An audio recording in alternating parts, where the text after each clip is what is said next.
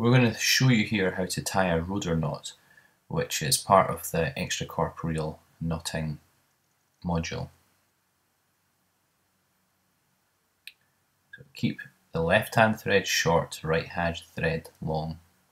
Pass a left hand thread round and throw one single hitch as shown here. Then using the thread which is in your right hand, wrap it round for three throws.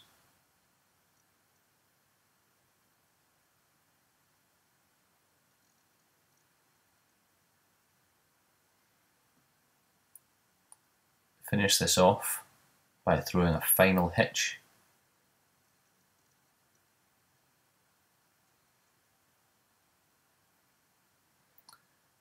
At this point, snug the knot down.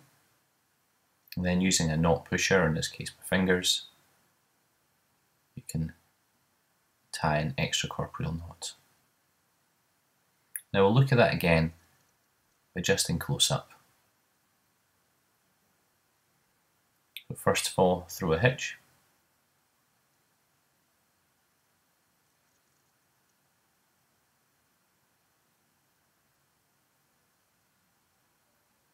Then wrap it around three times.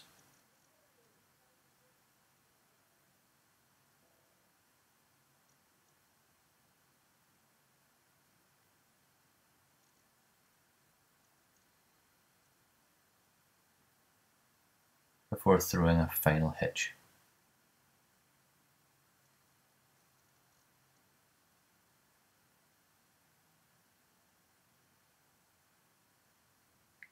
and that's the Roeder knot.